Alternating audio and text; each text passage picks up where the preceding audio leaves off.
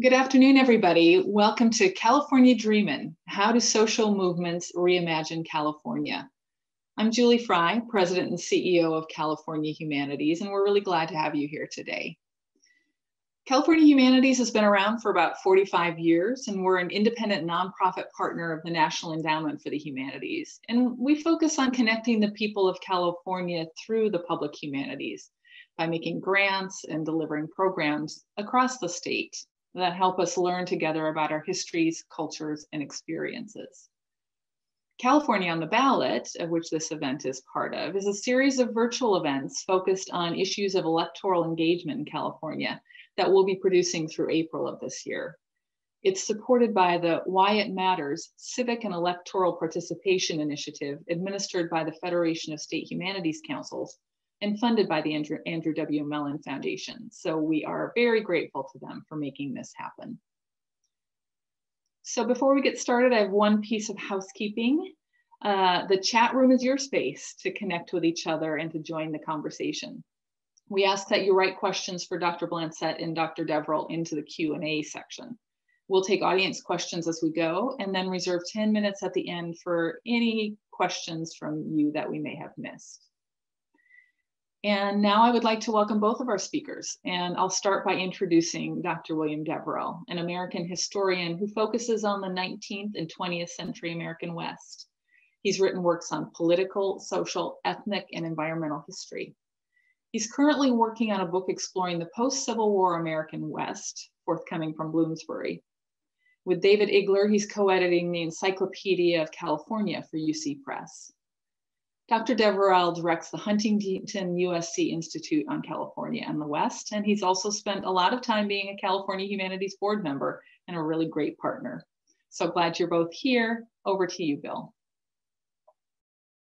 What's California look like before Richard Oakes, before Alcatraz, in terms of indigenous, indigenous activism?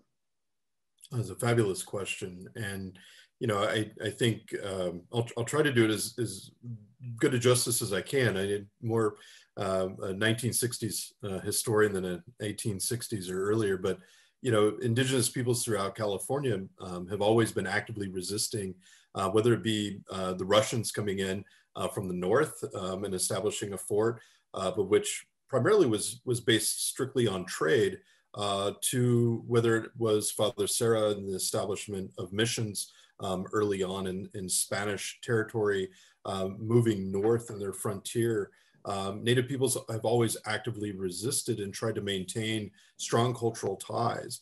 Uh, the hard part about those early inferences of, of Russian and Spanish empires um, is the overlay of disease that was brought by both empires that really decimated a lot of uh, the population that didn't have a lot of the immunities to disease. And in addition to that was taking advantage of, of, of indigenous generosity um, and commitment uh, to honoring these, these new um, you know, trading relationships with Spain. Uh, the mission system in itself became an, a very oppressive system um, in which numerous indigenous peoples would lose their lives. And through that depopulation, we then had um, a call by 1840s for a gold rush, right? That uh, brought and triggered people from around the world um, into California. And of course, that gold rush um, triggered a, a, an intense um, violence that followed it, uh, which was to see the, the full scale extermination and genocide of indigenous peoples throughout California, as Ben Madley's book really a test for. And I'd highly recommend uh, checking out his book, American Genocide. Um, a, a, a, a, portion of which when the United States government would eventually um, annex and or bring in California as a state by 1850, um, a good part of that genocide was already um, occurring um, and it would continue moving forward. But they would deny rights to indigenous peoples for voting. They would deny um, uh, indigenous peoples the chance to organize. Um, treaties were not necessarily established with many of the native nations throughout California. And like the Pit River Nation, I found in my own research, held 3.5 million acres of, of land um, that they never ceded to the federal government, just like the Lakota never seceded in giving the Black Hills away, their sacred lands. They tried to purchase those later. uh, but they never uh, ceded those through treaty. And because of that, this would be an ongoing legacy um, in the sense of securing indigenous rights. All of this would feed in um, to the securing of uh, indigenous rights. And then by the 1870s, we have the ghost dance. And the ghost dance movement was very prevalent in the 1870s throughout all of California, um, in which we saw active resistance. We saw active organiz organizing uh, collectively. And, and, the ghost dance essentially was a, a revival movement. It was a, a, movement in understanding what had happened um, due to genocide, due to environmental ecocide that was uh, rampant throughout uh, California in the sense of the gold rush and hydraulic mining and all the, the various uh, techniques that ravaged the land. Um, this was a movement to, to recenter us, to, to bring us together, uh, to start a new, a new, kind of California dreaming, if you will, um, that would uh, be able to see a future in which indigenous peoples would, one, um, still be able to organize, still be able to speak our, our language, uh, still be able to give life to our people and practice our traditions and ceremonies. So uh, it was a movement that was also misconstrued. It would lead up to the massacre of Wounded Knee in 1890 um, as that transitioned into the 1890 ghost dance. Uh, but it really started in California. And of course, by you know the 20th century, we had the Mission Indian Federation, we had uh, California Native peoples organizing and creating intertribal organizations um, well before uh, the 1920s in order to basically secure greater land rights and also greater freedoms and to protest for the right to be able to vote even within the state of California, as these things wouldn't really happen until the World War II era um, in states like Arizona and New Mexico it's amazing, you know, just to think about the, the various ways in which we can, I don't know, create themes and of understanding about Indigenous America or Indigenous California in this case for tonight. Uh, one theme is survival, right? I mean, the, the insults and assaults and trauma and violence and immunological disaster and cultural theft, etc. The, the survival itself seems noteworthy and astonishing and remarkable because, of course, many from the dominant society assumed that uh, indigenous survival was not, not to be. Um, and so there's that. But then, as you point out, and with a California sensibility, it's not simply that. It's it's cultural maintenance, it's cultural vitality, it's uh, advocacy and activism as well. So um, you know, part of the same story because the survival has to take place for all that other activity to be um, viable. But it is really a remarkable and remarkably early, I think, the way you just characterized it 1870s, 1890s, 19 teens uh, coming together. So I guess, well, let me see if you agree with that. I do, and I, I think you know part of it is it's it's amazing. I mean, it uh, you know, uh, for for my people, we went through the the Trail of Tears, uh, which we would lose half of our our people, you know, in this arduous, you know, uh, bayonets at our back walk and force march uh, from our homelands to to Oklahoma, um, and you know, the idea of this was that you know it's not something in which victimized. Um, it was something that we gathered strength from because we understood that we were at this impasse. We understood that we were at this part where we had to come together um, if we were going to be able to survive. And it's a story of overcoming insurmountable odds. Um, and quintessentially, it, it's one of those stories that, you know, depending on the lens you want to view it from, um, it's a lens that can empower, and it's it's or it's a lens that can victimize or continue to traumatize. And so, history is really fraught with uh, these issues in which, especially in Indigenous history, we have to then uh, be able to say where do we find our empowerment uh, within these stories and where do we center that empowerment? Um, and I think within the California story, um, you know, we begin to see that uh, those heroes and those those leaders and those warriors uh, that sacrificed everything for their people give us an example of true American heroism um, in regards to sacrificing everything to preserve a future destiny for their peoples. Yeah, and I I, I can sense that um, finding and telling and interpreting and offering those stories is precisely one of the strongest motivations for you as a scholar and a writer. Um, is there a hint here that the let's let's say the Red Power movement and uh, activism is, uh, you know, we, we've got a particular period in which we place it, which is with your book really and your your era. But Red Power's been around a long time, right? Of course. Uh, you know, and you know, I had somebody once tell me, you know, hey man, we've we've had red power since 1492, and you know, and that's that's true. But what I try to do with the book is try to look at something different um, in the sense of trying to define what red power is and how do we, uh, you know, uh, differentiate that from native nationalism. And it seems to be, you know, a lot of the movements that we had before, while there's an intertribal component to like the Ghost Dance, um, many of the Ghost Dance itself was was about native nationalism, essentially. I mean, granted, we were coming together, we were sharing resources, but it was uh, that revitalization movement centered upon native nations um, actively pursuing um, the protection of their sovereignty um, and furthering uh, their rights as a nation. And by the time we get to you know the World War II era, especially in 1960s, um, it, Alcatraz would symbolize a new kind of beginning in indigenous politic and modern organizing, uh, which was an intertribal movement in which Native peoples were coming together um, and they were still talking about ideas of, of native land liberation. They were still talking about ideas of how do we, at the same point in time, indigenize the space around us um, in order to create a better future for, for our children. Um, and some of that indigenizing of space meant how do we transform space, right? How do we build Indian centers to overcome destructive federal policies like relocation and like termination? How do we build institutions like Native American studies at, at San Francisco State or at UCLA and Berkeley in order to basically educate a whole new generation in, in Native rights and sovereignty?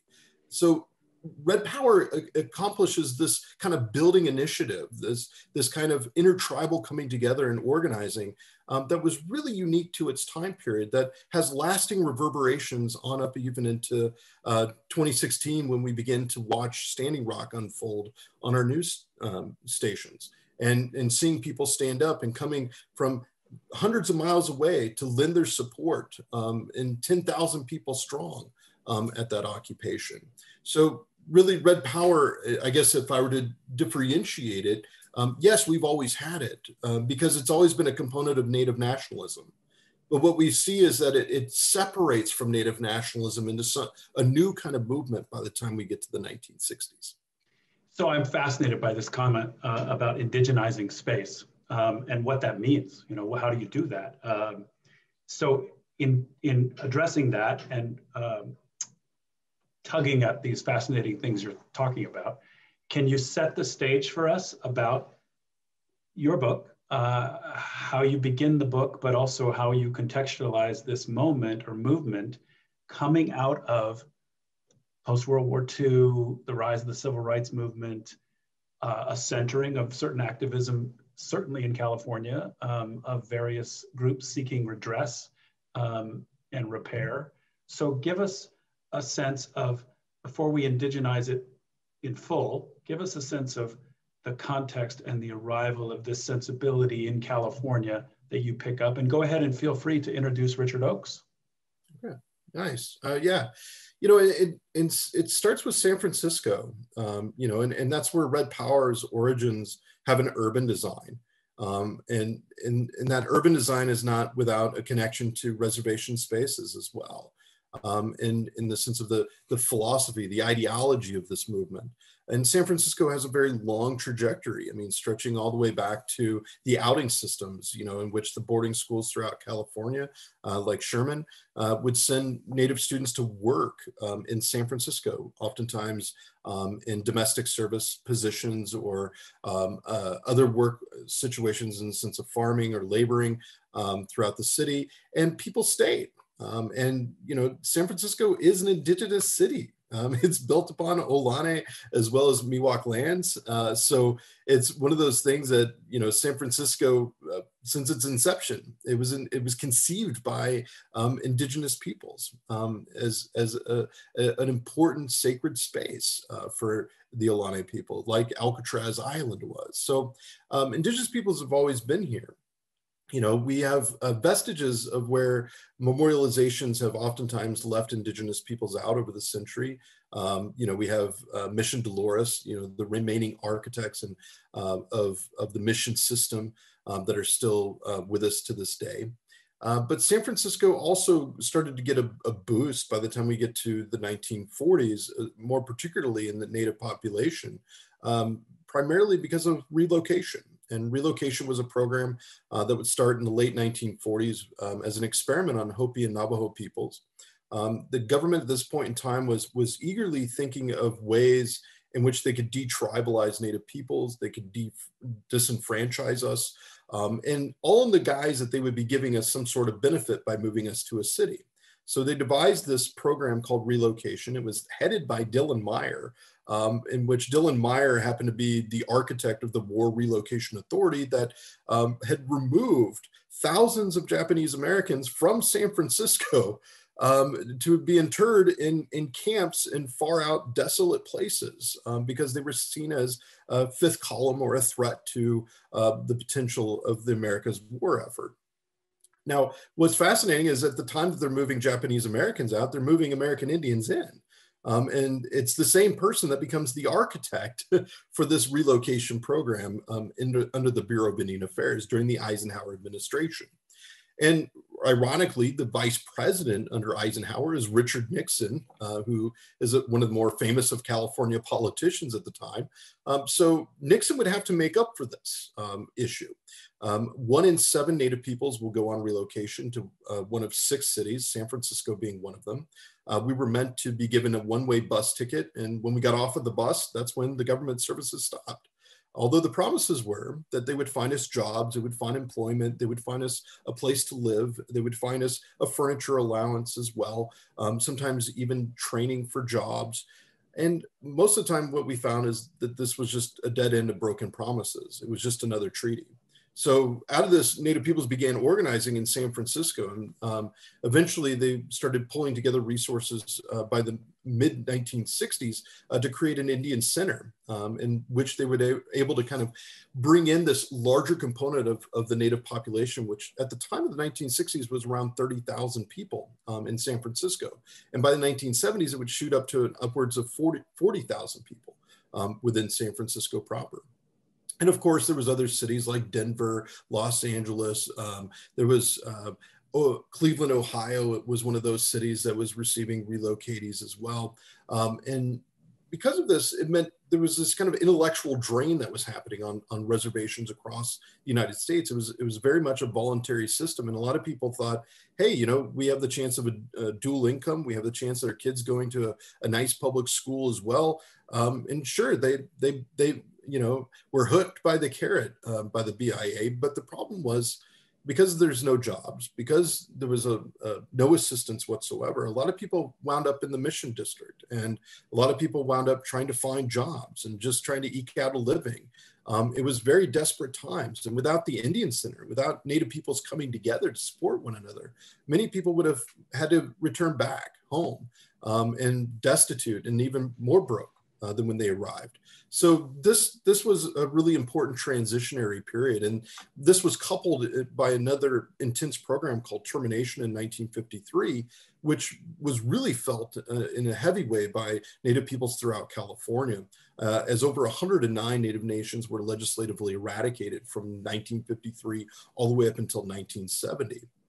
And so what this does is it sets the tone uh, for uh, new people to emerge in the sense of leadership positions. Uh, Rupert Costo and Jeannette Henry would found the American Indian Historical Society, and they begin publishing the very first ever uh, Native journal um, and newsletter called the Indian Historian, um, which was to really showcase the fact that indigenous studies and uh, or indigenous discourses in academia had a place. Um, uh, before this time, it didn't exist.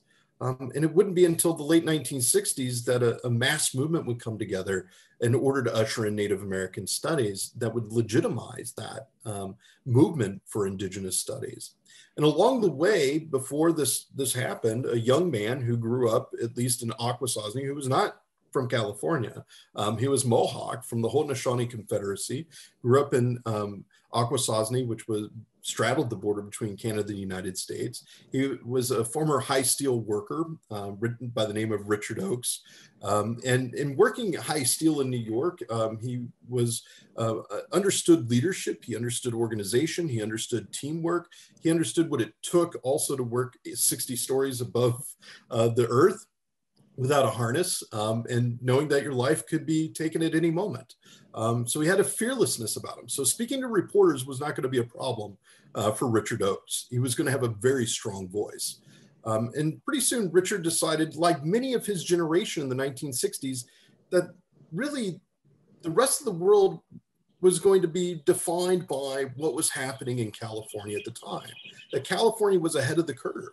Um, it was this new place, this place that was open uh, to people of color, supposedly, uh, that it was open in the sense of ideas, that it was experimental. It was the summer of love. It was a time period in which you had one city um, uh, that was welcoming love while the rest of America was watching hate in the sense of unfolding in the civil rights movement in the South, or people basically um, uh, being carted off to Vietnam only to be brought back in boxes. And this was a, a situation in which people were hitting the streets. And it was no different in San Francisco, but San Francisco was the hotbed of organizing. It was a hotbed of radicalism. And Richard Oakes seemed to want to be a part of all of that. Like many Americans, he made the great trip west um, in a new westward migration to find freedom in a city called San Francisco. Um, so, yeah. yeah. So I, and this is that he comes in 65, 66? So he comes in uh, what I believe is uh, 68. Um, okay. he actually meets his wife, um, who's Annie Oakes, uh, who's Kashaya Pomo, um, from uh, which the reservation of Stewart's Point Rancheria is just north of San Francisco. They meet at an anti-war rally um, and they fall fall in love. And she had several kids from a previous marriage, uh, which Richard just adopted as his own kids uh, right away. He always wanted to be a dad, um, and so he jumped at the opportunity. And those kids would receive uh, tutoring, ironically, in the uh, upper story of the Indian Center um, in which Richard Oakes' first job was working in the Indian bar uh, known as Warren Slaughterhouse Bar, which was about two storefronts down off of 16th Street in the Mission District uh, from the Indian Center, uh, which was a rough and tumble bar. I think Dean Chavers, who's Lumbee, uh, who was one of the mainland coordinators for the Alcatraz occupation, described it as one of the, the grungiest and dirtiest bars he'd ever seen and barely even wanted to set foot in it uh, because it was so rough and tumble. Uh, yeah. Uh, but Richard could hold his own in, in that place. And uh, interesting enough, it was the same place that uh, Russell Means, who's another San Franciscan through relocation, Russell Means had basically said that was the first place at Warren's bar that he'd ever heard about termination. So in other words, people were talking about politics. Politics, yeah, exactly.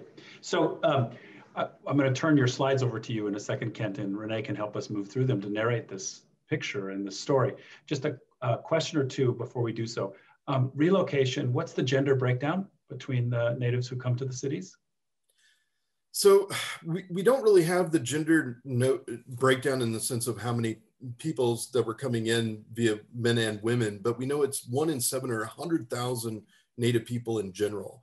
Um, part of this is because a lot of people that were individuals could come on relocation. I think a majority happened to be men. Uh, primarily, uh, they were veterans from the war um, that would go on relocation uh, pretty readily, and sometimes they would send for their families. Um, but oftentimes it was women too. Um, LaNada Means, uh, who was one of the, the leaders of the Alcatraz movement, came from Fort Hall uh, reservation and, and decided to uh, come to San Francisco on relocation. Another person I interviewed was Mary Lee Johns, who came here at a very young age from Cheyenne River. Um, and so many women uh, were also taking part in this. And you, you got to understand that, especially for Native women, this meant an opportunity. Um, oftentimes, the, coming from very patrilineal places where you weren't able to get jobs sometimes, um, only men were able to get those jobs. Uh, this meant for newfound freedoms and native liberation for women um, in the sense of being able to have an income and a career um, outside of that uh, places where sometimes you're, you're experiencing 80% unemployment and no jobs were going to women. Uh, this meant a, a, a, massive change in standard of life uh, for yeah. People. It's just a you know proof again that um, the California dream is capacious. You know, it can it can absorb hopes and wishes um, beyond just the conventional kind of gold rush dreaming uh, that we tend to caricature. The California dream can mean a lot of things to a lot of different people. Uh, Kent, do you want to take us um, through the, the imagery of the book and narrate uh, some of those amazing photographs you've got? Let's, let's start with this. Yeah, this this is uh, the newsletter. Um, this is volume one, number one of the Indians of All Tribes newsletter.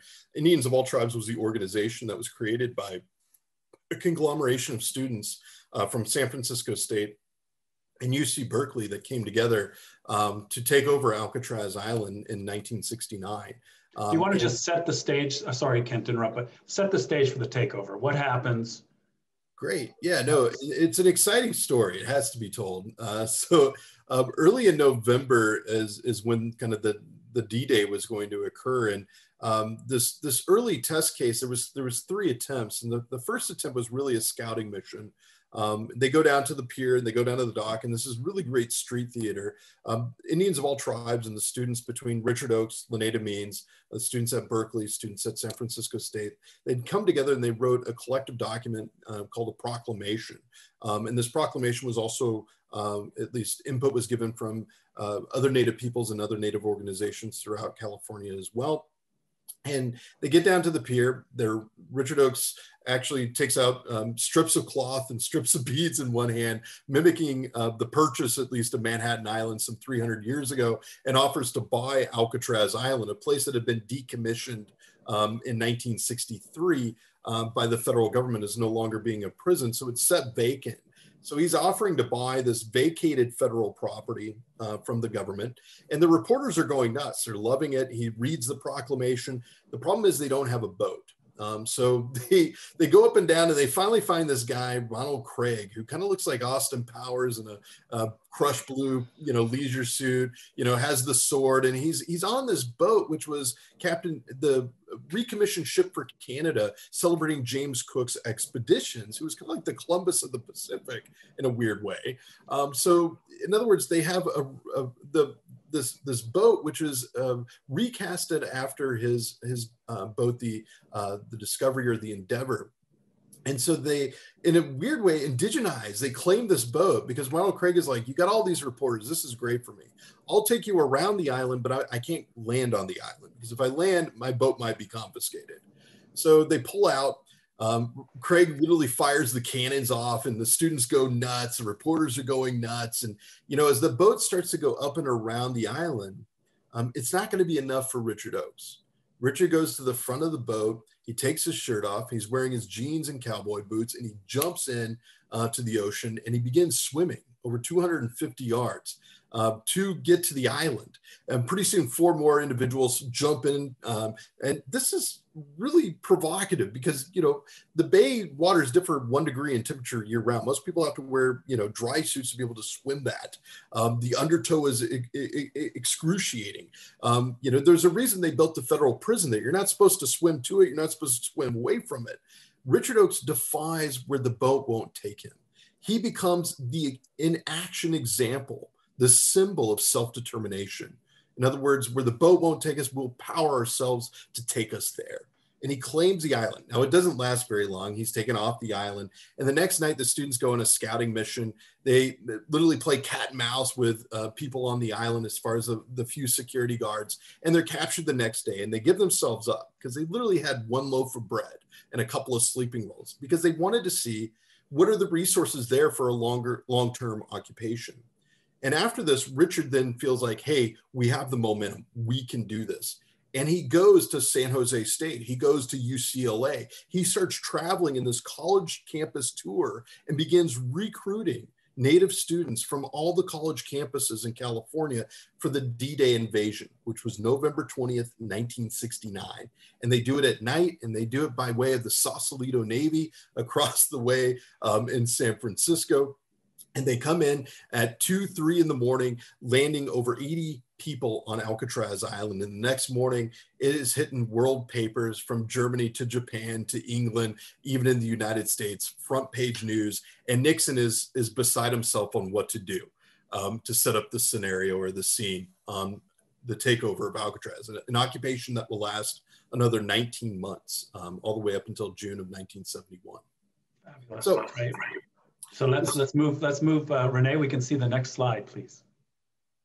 So this is Richard reading the proclamation on Alcatraz Island. Um, you know, that last slide of, of the newsletter is also important because the students were highly organized. They, they didn't just come to the island to stage a protest. They came to show how to develop a, a liberated indigenous community, that the only free land um, in native North America was, was a former prison. Um, that they used it as, as, as, as a great metaphor uh, for the lack of indigenous rights in this country. Um, the fact that most people see a prison and we saw liberation should should stun people as us being the first people of this country. Um, the fact that they would use this to educate reporters about Indian country, the fact that there's no jobs, there's there's no mineral resources, no running water, no electricity, right? Um, there, there's no healthcare on this island. Um, it was a way to be able to dramatize um, this the conditions of Indian country in the late 1960s and to draw attention to destructive federal policies like relocation and termination.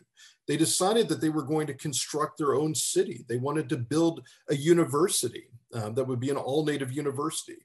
Richard Oakes was really instrumental in, in, in carving out a space to want to put a museum um, on this island as well. Um, they wanted a monument. Well, you know, the, the East Coast has the Statue of Liberty.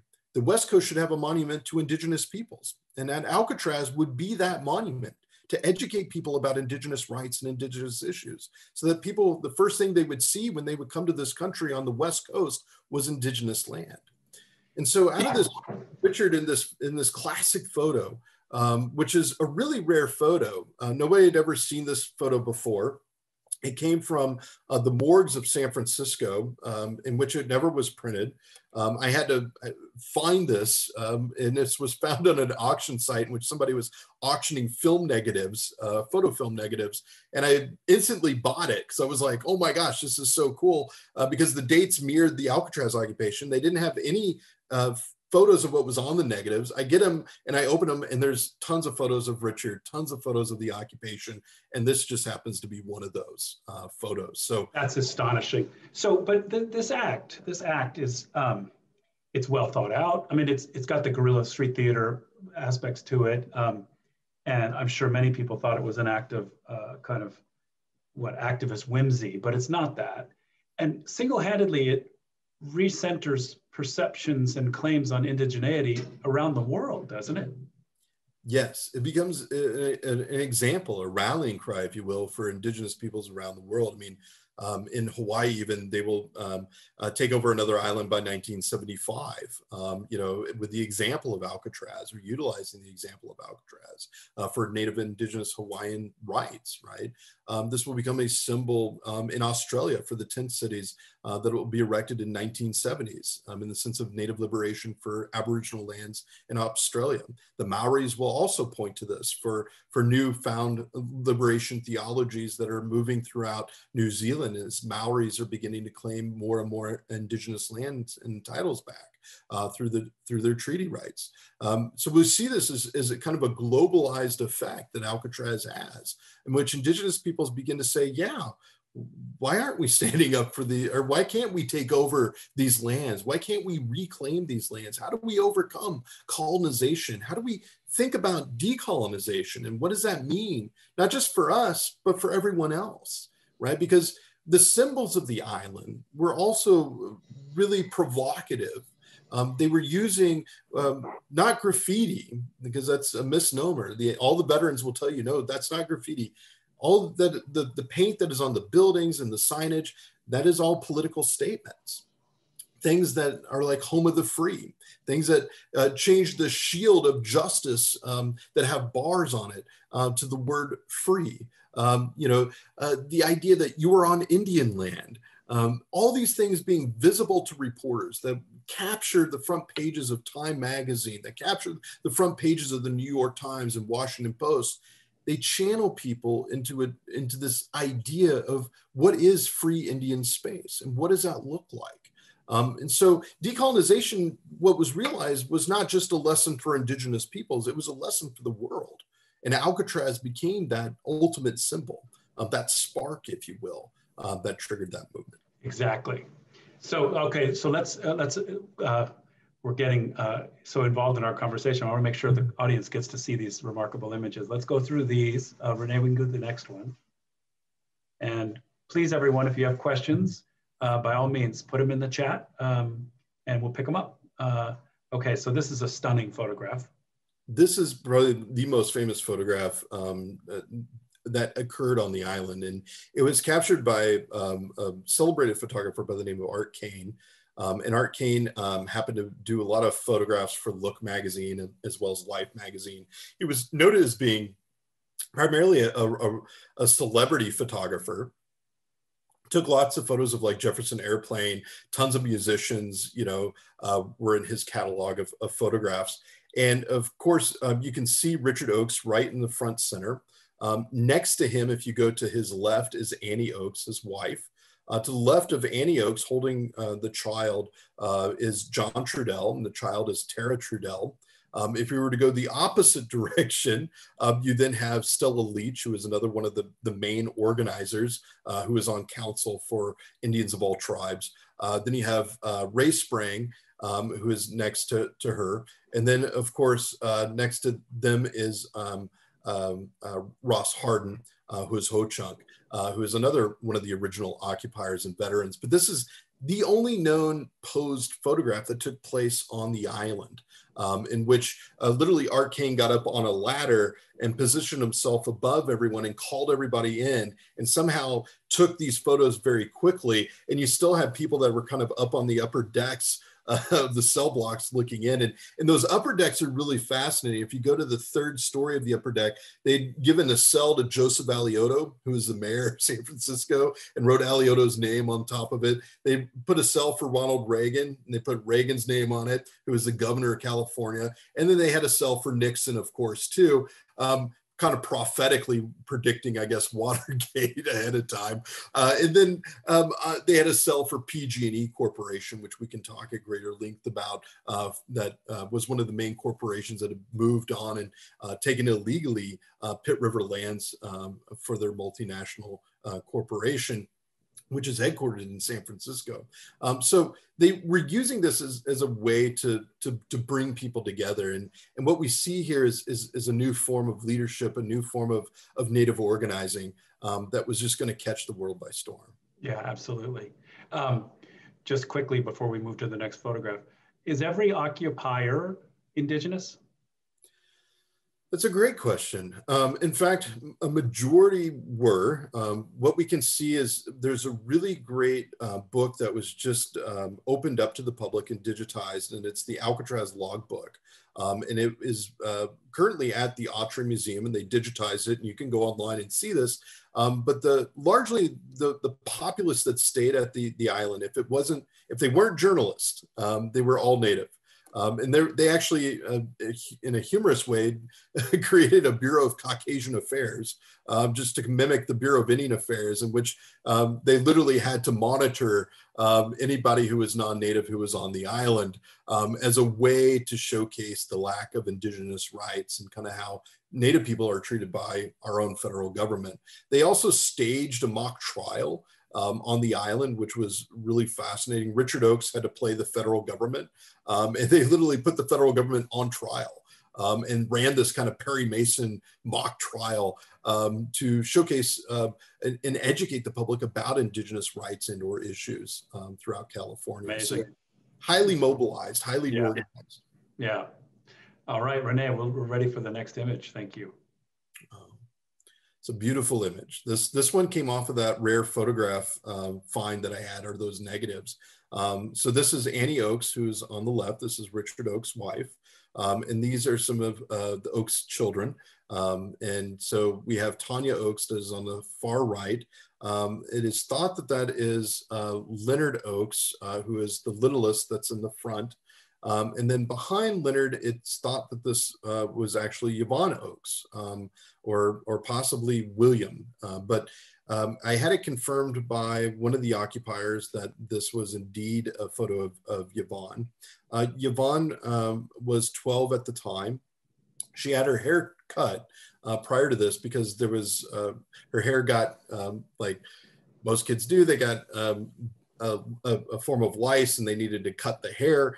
Um, and so was, she was really embarrassed, didn't want a lot of photographs taken after that. Uh, but this one um, was done by a reporter from the San Francisco Examiner that showcases her holding her brother. And uh, we can go into how I was able to kind of determine um, the identity of, of, some of the kids in, in the photos. Uh, but Yvonne would also lose her life in January of, of 1970. She would fall uh, from the third stairwell in the Ira Hayes building, which doesn't exist today. It was an old apartment structure on the island that was torn down after the occupation. Um, she would uh, pass away a few days later, um, even after um, all of San Francisco rallied uh, to her bedside. Um, and it really devastated Richard. It devastated Annie Oakes, and they were they were looking to actually move their kids off the island before this tragedy happened. Um, and it showcased too that we didn't know really what happened either. Um, there's um, as much evidence as I found uh, for her being shoved as others that say uh, that it was a total accident. Um, the, the part and parcel was is that Richard would move off of the island and he made this really famous quote. And one of his most famous quotes is Alcatraz is not an island, it's an idea that what they were doing on Alcatraz needed to be imported to other places. And this is where I differ from other historians that covered the movement, because most historians tend to landlock Alcatraz to just the island. But Indians of all tribes began doing occupations up and down Northern California. They began going to Seattle and taking over Fort Lawton. Um, they began running occupations on behalf of Pit River nations and peoples. They began going to Clear Lake and Elem and other places to uh, lead their support to the takeovers of Rattlesnake Island or the takeovers of Toyon Job Corps Center, which became a part of the Wintu um, headquarters and uh, for the Wintu people. So out of this, it was, as I say, they were going to be meeting mass success. And Richard never stopped organizing. He never stopped um, disbelieving in the idea of Alcatraz um, in the sense of basically putting it into practice and into work. Yeah, I think, you know, your book makes this really strong point, which is um, this is not a stunt. This, this has really far reaching consequences. Can you talk, I, I, understand the activism and uh, seizure consequences. Can you talk about um, policy consequences or the ways in which the uh, political world responded to this show of activist pride? Yeah, that's a that's wonderful. Um, I think, um, it, and it gets us into this whole other topic of, being able to talk about Nixon too, uh, which Nixon is interesting because he didn't um, activate the federal marshals right away to to clear uh, people off the island. Didn't activate the Coast Guard as well to to clear people off. Um, in fact, he he kind of stalemated it, and part of this had to do with um, insiders that worked for Nixon's administration, like Leonard Garment and others under his administration, that were trying to say, you know what, um, you know, you really don't have very good relationship with the media right now, um, or with the rest of America due to the anti-war movement, and quite frankly, your record on on civil rights needs a little bit of help. Uh, so Nixon also had a, a, really interesting background. I mean, he had a football coach that came from um, the old um, Haskell and, or I mean, Carlisle days of playing football. And of course, Richard Nixon was kind of like the Rudy of the football team. He was never allowed to play um, other than just being a tackle dummy. Um, but eventually, he garnered massive respect for his football coach, who was native. Um, and so a lot of people said that Richard Oakes maintained um, this kind of appreciation for Native peoples. He also was competing against the Kennedys, which we could get into that issue even more so uh, in regards to Indigenous rights. But you know, out of this uh, movement in 1970, one of the first acts um, uh, that Richard Nixon will have in proclaiming himself to be kind of the indigenous president um, is he will overturn relocation. Um, so he creates a policy statement. He, he, overturns relocation in 1970. He overturns termination as a policy of the federal government. He gives Taos Blue Lake back to Taos Pueblo. Um, so he's activating on the activists' um, dreams, essentially, of Native liberation. So we have a president in the White House, a Republican president, that's following suit with an agenda that's being proposed um, by a group of Native students who took over an island, right? Um, so effectively, they, these students were seeing real and positive change come by the way of, of, this, of this movement. And I wonder if the uh, if um, you know obviously Nixon's in the White House, but I think his Whittier, California Quaker upbringing had something to do with his response to indigenous America, right? Yeah, the Quakers have always had a, kind of a, a, an affiliation, if not an, an alliance with Native peoples um, you know, that's questionable going to the walking treaties in Pennsylvania, uh, which were a little bit deceptive on the part of the, of the Society for Friends. Uh, but yeah, the Quaker upbringing definitely um, was a component of this. Uh, but, you know, Nixon will also go on to sponsor decisive legislation.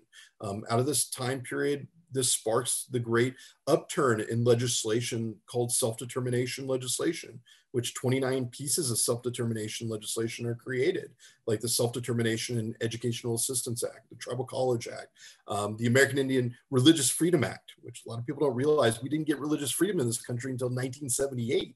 And that's even with a question mark, right? Because it would go through trials, like um, the Native American Church would go through Supreme Court decisions in the 1990s, even.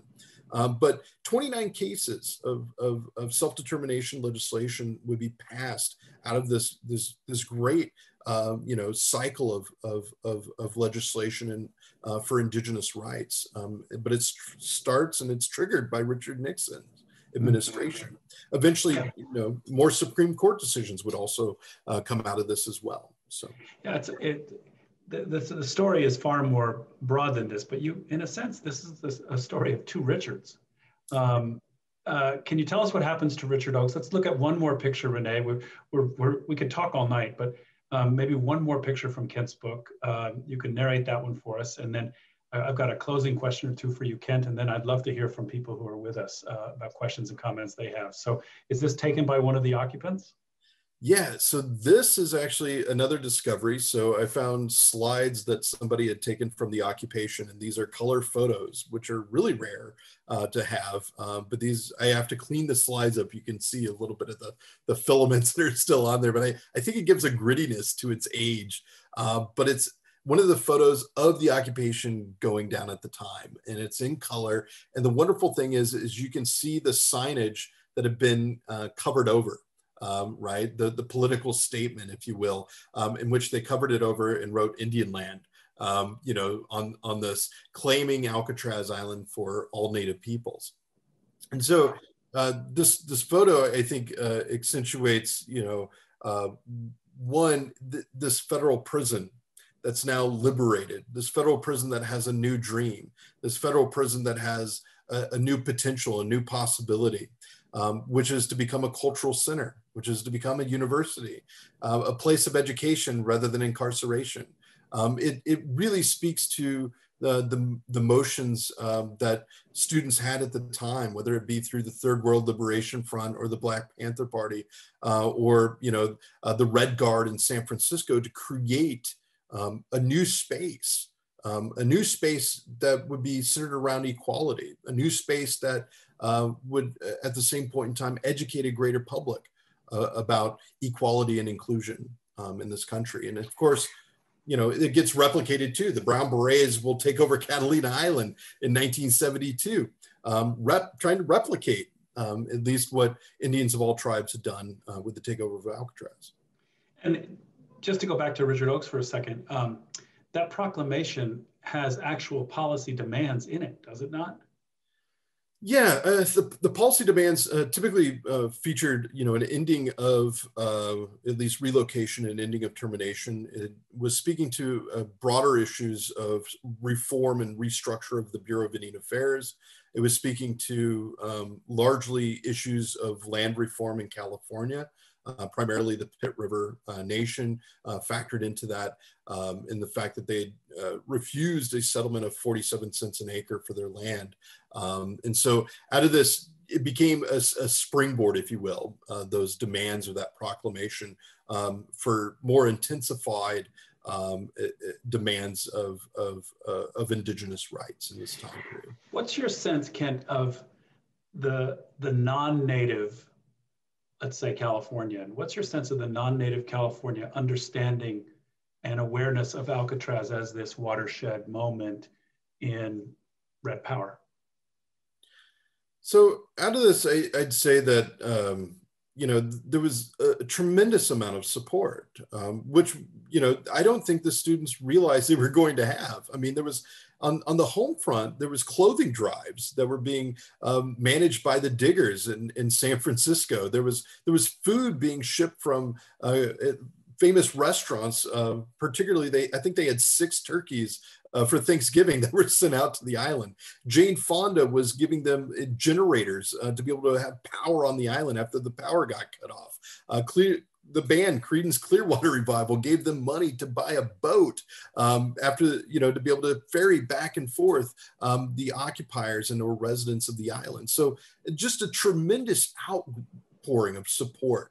Um, I think people began to pull back that support um, a little bit after Yvonne's passing, the media began to kind of turn a little bit more on the occupation, and it was a struggle for LaNada Means. It was a struggle for John Trudell and Stella Leach and a lot of the, the leadership uh, that remained at the council to, to really educate people uh, that this movement was not to go to, to a, a, a, a, a bad spot, but this movement was to uh, continue on moving forward in the same um, ideals and same uh, hopes and aspirations as, as as its origins. So um, yeah, I think uh, the, the the the surprise of the outpouring of support was was very generous. I think the uh, students were able to also uh, raise lots of money, uh, part and parcel because of celebrities like Buffy Sainte-Marie uh, who would lend their talents uh, to uh, doing concerts uh, to raise money for the occupation. I think Hair, even at the time, um, which was the big musical that was taking the country by storm, donated several of its shows um, in, in the box office uh, to Alcatraz Island. So it for the students, it looked like this was going to be a very real possibility. It looked like um, you know, uh, there was legislation that was being sponsored by, um, at that point in time, Jerry Brown um, in the legislature uh, to be able to give Alcatraz Island back uh, to uh, uh, Indians of all tribes. Uh, the hard part about this was that it should have been a federal decision. So federal government was stepping on the state, saying the states didn't have the rights to give back Alcatraz. Um, and so in the, the fervent uh, between state and federal um, entrenchment is where this movement really gets kind of lost. Um, and of course, um, with Nixon kind of holding off on, on moving people off the island, what it also would do is it would allow the media to find other issues, like later Charles Manson, like later, uh, yeah. you know, uh, new issues like Altamont Speedway and the Rolling Stones concert or Vietnam. There was other issues that would begin capturing the news, and as the media moved away from reporting on indigenous issues, was where you know uh, eventually we have a crackdown on this on this California dream.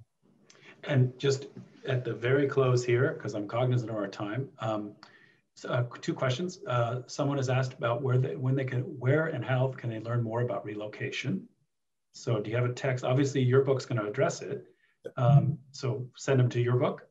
Sure. Yeah. No, I, I address it in my book. Um, I actually use Richard Oakes as a as a lens. Like I read his biography, but I look at the development of an Indian city in Brooklyn, um, where he's from, and then uh, he eventually moves to San Francisco. So I do a background on the history of San Francisco, um, it, it largely in the book to showcase uh, this this environment that he's entering into, this very urban Indian environment, um, and of course relocation is a central part of that story.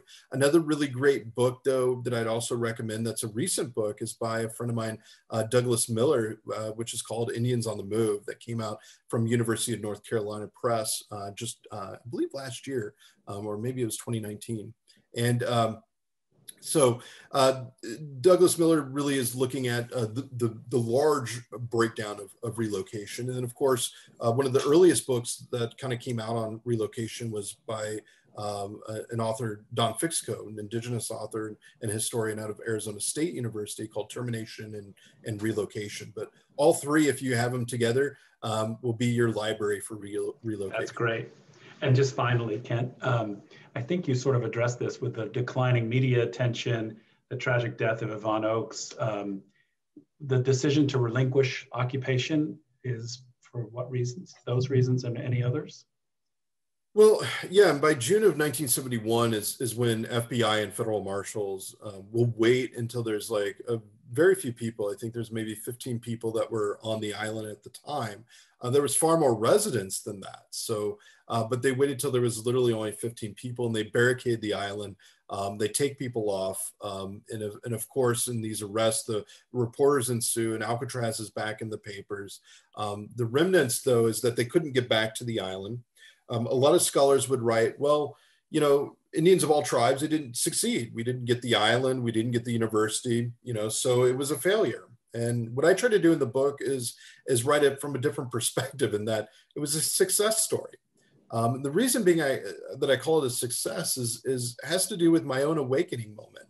Um, and my big moment I think the aha moment of my research um, is when I went to San Francisco as a young graduate student um, from the University of New Mexico, and I decided to take a ferry boat out for the first time uh, to go to the island. And I'd seen all the photographs. I'd studied this, the photographs endlessly, and I'd seen a lot of the political statements on the buildings, and you know, it it registered with me a little bit, you know, of like the importance of that. Um, but it wasn't until I got on the boat and we're heading out. And of course, I go to the front of the boat because I want to see, you know, the superstructure of the Golden Gate Bridge. I want to feel the sea spray. I want to see where Richard Oakes would have jumped off. So I'm like that big nerd guy who's just eating it up and is like all about the Indian occupation. I notice, you know, people behind me, they're talking about, oh, I can't wait to see Machine Gun Kelly and Al Capone. And they're talking about all the criminals, right, you know, of, of, of this occupation um, or what were the toughest criminals. And I laughed to myself because I'm like, ironically, I'm going out to see the, America's toughest Indians, you know, on this island. And so it's this totally different engaged experience for me um, than a lot of the audience on the ferry boat. And that boat pulls around on the island and it comes up to the dock, which is on the other side. And there's this giant sign that says Indians welcome. And I remember seeing that and I had like chills and goosebumps go up and down my spine because I realized as a native person, this was the first welcome sign in my own home country, my own homelands I had ever seen.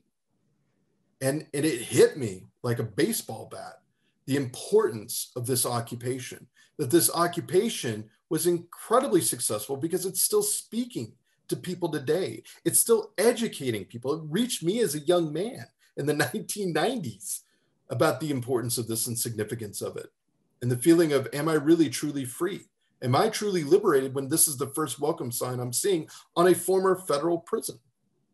And of course, when you get off the island, still to this day, the national park makes you gather under that sign. And they explain to people um, the, that there was an occupation that changed indigenous rights forever.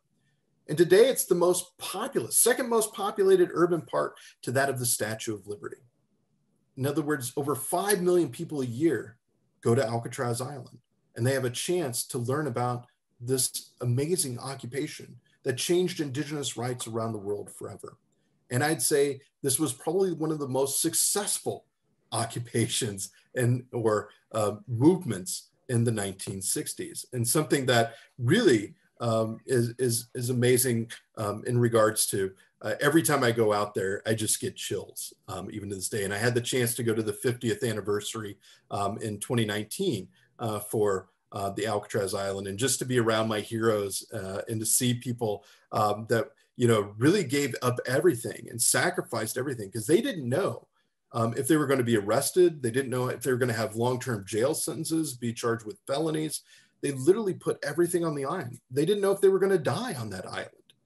I mean, they literally risked it all uh, for this next generation. And the rights that I have as an Indigenous person today wouldn't be possible if they didn't take those risks. So it's with that that, you know, we, we really got to give them their due honor um, in the sense of being veterans of this movement.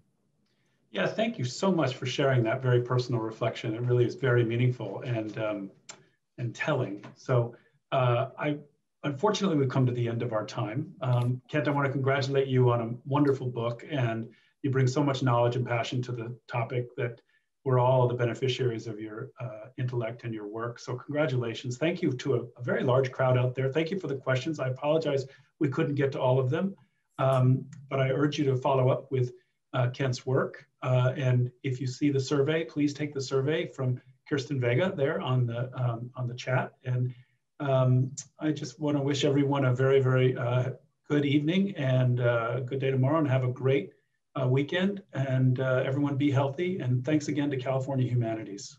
Good night.